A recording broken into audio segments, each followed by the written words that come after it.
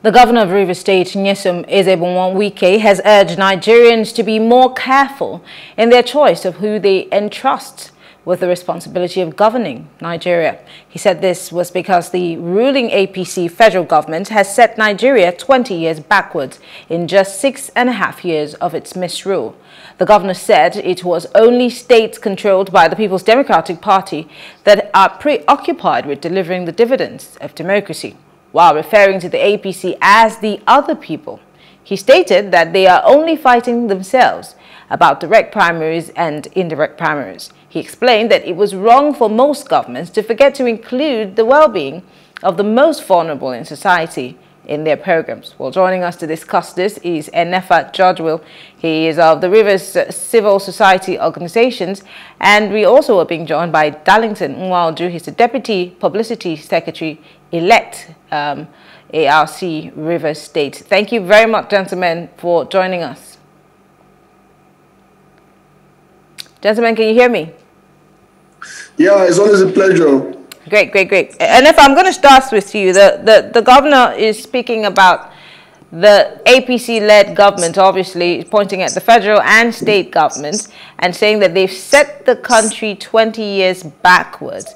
Um, and, and for you who works with civil society, I mean, just a few minutes ago, we were talking about the protest uh, that uh, happened in the Northwest as a result of the killings and, of course, the terrorism that they're experiencing.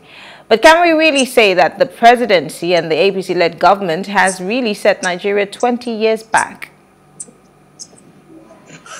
Um, very, very, um, the statement of the governor um, is a fact that uh, the APC government is one of the worst government in the history of Nigeria.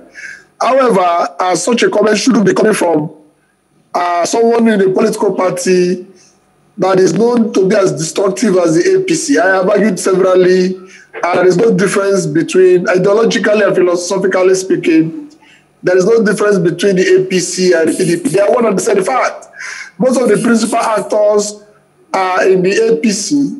We are all in the PDP. In fact, the major players, call them, Amaechi, call them, uh, the, the, the Aquarius of this world. These are entrenched uh, PDP people. You know, most of them, a good number of them, we are all members of, of, of the PDP. And of course, we all know too that the 60 years of our, uh, PDP was equally uh, years of ruin. Um, uh, 16 billion naira power project, yet there is darkness everywhere. We, we want to talk about the uh, PDP government couldn't deliver ordinary potable water. We are not by a government who couldn't industrialize this country. Uh, uh, iron ore and uh, uh, uh, steel is nowhere to be found. They couldn't even provide simple things like simple, simple technology, IT, and what have you. So I, I, my point is that they lack the the PDP lack the competence uh, to abuse the uh, APC because uh, they are they are they are one on they are one on the same thing. And for the governor, uh, the, the governor the governor sometimes um, sounds sounds so sure of himself. He he, he, he, he talks. He, he, sometimes the governor wants to act as an activist that he is not. For God's sake, we are talking about the governor who he was talking about uh, policies of the, uh, uh, uh, as it affects the downtrodden. We are talking about a governor who no civil servant in Rivers State has been promoted since he came into the state. That, is, that means that if you are in level level six since he came, you are remaining level six till date. Hmm. Why your counterparts must have moved to level 10 by now, but he remains so. We are talking about a governor who have not paid demonstration teachers despite court order. The industrial court and even the court of appeal have so ordered a lawyer, a lawyer and he has refused to obey the court order. He has not paid them. So, by so you're saying that Governor. Six years. So you're saying that Governor Wike is. So you're saying Governor Wike is has found himself in a case of a pot that's calling a kettle black. Is that what you're saying? That he should not you, be speaking you, on this issue? I, I, I, I, am saying, uh, with, with, with great respect to him, I think he's just being hypocritical. I, I sense high level of hypocrisy. We're talking about we, even, even down here. What are the, what, no industry what an industries, he has created for ordinary people, for poor people. We expect that by now uh, we have industrialized the state by uh, setting up IT centers and IT up. The, the IT is the new oil in the world. What is he doing? Is even the cassava processing uh, factory that was created by, by a joint venture between uh, the previous government and, and Shell that he came and completed because government continued. As I speak to you, he has dissolved the board of that uh, cassava processing uh, uh, uh, factory and it has, it has, it has remained ever since then. Okay. No industry, okay. no employment, nothing, nothing. Okay. And such a, and such a government is talking about uh, APC. It's, it's true that the, that the APC is a failed go- is a failed political party and this government is a failed one, but that shouldn't be coming from a governor who is called a failed, a failed governor. All right. Let me go to Darlington. Mr. Uh, Nwauju, um, the governor uh, has, in his statement, um, um, he, he was uh, being represented by his aide, uh, Kelvin Ebiri. Uh, he did talk about the fact that the governors in the PDP are being preoccupied by delivering the dividends of democracy. So let's use Governor Wike here as, uh, you know, as, let's see, the poster child of delivering dividends of democracy. What dividends of democracy is the governor referring to? Let's start with River State. Are there any dividends that we can point to? I mean, NEFA just literally crushed um, every single thing that the governor has said in that statement. But do you have anything to say to save the governor's um, reputation in this regard? Well, I wouldn't uh, want to indulge myself in uh, the seasonal uh, brickbats that um, the governor of Rivers State um, always engages himself uh, with the federal government of Nigeria. Uh, I wouldn't also want to entertain your audience just like the governor does on a daily basis, um, frittering uh, taxpayers' money on national TV on a daily basis in the guise of uh, launching or flagging off or commissioning projects. I think that governance and government is a serious business. And uh, when uh, people talk about, uh, if we want to discuss serious business, then we should go down to roll up our sleeves and discuss very serious business. Now, we are talking about governance in Nigeria and governance in River State and uh, you wouldn't have someone who is who has refused to be accountable to the people of River State. You wouldn't have such a person uh, uh, uh trying to paint uh, or trying to brush the federal government uh, in a very bad light, in a very bad manner. He is not a good example of what an opposition should be.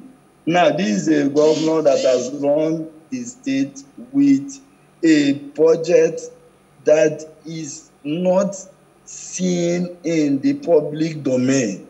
How do you mean? And we have the budget is nowhere to be found. The budget of Rivers State in the past six years, the government of the state has operated a secret budget. But but but then I remember when I was in River State, the budget used to be public uh, published on a certain government website, so you could go and assess assess the you know the different parts of that budget. And I, I remember. Now you are now you are you are a journalist. I challenge you. I challenge you to direct us to that website where the the budget of the state is in the past six years, since uh, 2015 when he took over. Now we are saying that these are not uh, these are not mere rhetorics. This is not trying to play to the gallery or entertain your audience. We are talking about facts. You cannot, in any sane democracy, claim that you are running a people's government or you are accountable to the people, whereas the budget expenditure, which is a public document and which should be a public document, is nowhere to be found. You are not accountable to the people. You award contracts based on impulse. I'm sorry. Again, I want to challenge you. When you say that the governor is not accountable to the people, in what way are you saying? Because I mean, I, I, don't understand. Is the, the, the, number one test of accountability. How has you're a, mem- you're, the, you're a member of the opposition in the state, and the opposition in the state seems to be, seems to be. Document. Can I ask a question? You're a member of the APC in River State, you, you, and the opposition in in River State seems to be a worthy opposition. What has the APC done in challenging the government to produce this, this so-called um, secret budget or be accountable to the people? Because it's not enough for you to talk about it. What are you doing to get the government to be on their toes? That's what the opposition is supposed to do, right? Well, what, what, what else should a credible opposition do other than calling out the government of the day talking to the people of the state about the dangers of we having a government that runs and operates a secret budget. There is nowhere in the world where, assuming uh, the, the, the federal government was operating a secret budget, as we have in River State, I, I, I bet you that the whole country would have been on fire because you cannot have expenses made based on knee-jerk reactions. You cannot have on a daily basis contracts being awarded that are now captured in the budget for people to be able to verify, for people to be able to mark this project, for people to cross-check and examine the cost implications of this budget vis-a-vis -vis the uh, uh, standard cost of, of these items in the market or in the open market, as the case may be. So when once you have deficiency with your budgeting system, I, I dare say that there is every reason for you to believe that there is or there are acts of corruption. Okay. Because the number one point of corruption in this country is in the budgeting. But Enefaa just said something about the fact that. hold on, Enefaa, Enefaa Judge just said something about. sorry, I'm so sorry. I'm, I'm so sorry. One second. Let me just put this out there. Enefaa Judge will just put the APC on the same level with the PDP. In fact, he said that you they're one and the same. It's just the different colors or the different logos on their flags that differentiates them, but they're one and the same. So you're on the other side pointing fingers at the government uh, on its level of irresponsibility, according to you, while Enefaa, on the other hand, is saying that you're as irresponsible as the government of the day. In other words, if you were there, in his words, you'd probably do the same thing. What do you have to say about that? Well, those are his opinions. Uh, he's entitled to his opinions. Opinions are free, but the, the facts that should that are on ground are sacred, and the facts are actually the direct opposite of what Enefaa just did. And, and, and, and if you want to correlate what is happening at the federal level with what is happening in Rivers State, there is no basis for there's no basis for, for comparisons. Because really? number one, we do have an open budget for the federation, a budget which is subjected to uh, public debate by the National Assembly. Okay. Which is subjected to pandering by the various committees at the, at the, at the level of the National Assembly.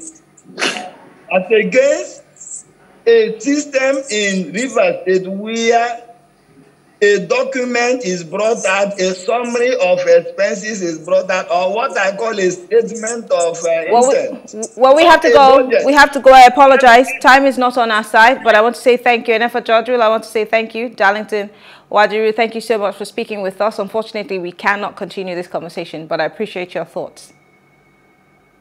Thank you.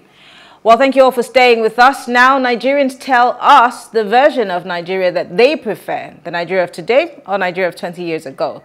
Uh, well, my name is Mary Anakon. I will see you tomorrow as we return with Plus Politics. Have a good evening.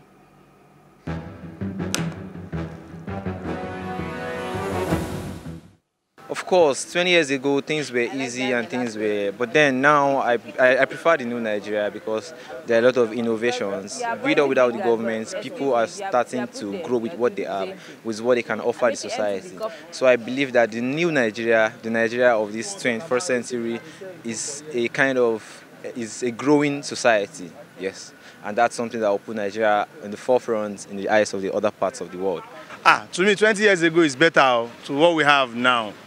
Like um, 20 years ago, we don't have um, things like street um, cultism. We don't have um, you can you can proudly eat square, three square meal a day. 20 years ago, and even like Christmas now, Christmas is in the air. You can't even feel it that there's Christmas in the air. So Nigeria of 20 years with me, I would like if I can reverse the hand of time, I would like to go back 20 years. Honestly, I think I prefer I prefer now because there are some civilization that's in, that's in the country already. You understand what I'm saying? Like 20 years ago, there was no Instagram, there was no all those stuffs, all those stuffs, you know. So I would say now is better than 20 years ago. I would say we have gone some steps further, you know, than, than I'm sure we had ever imagined. But um, we have a whole lot to do, and I'll say we are still falling short of expectations. You know, uh, but I have faith that things will get better in the next 20 years.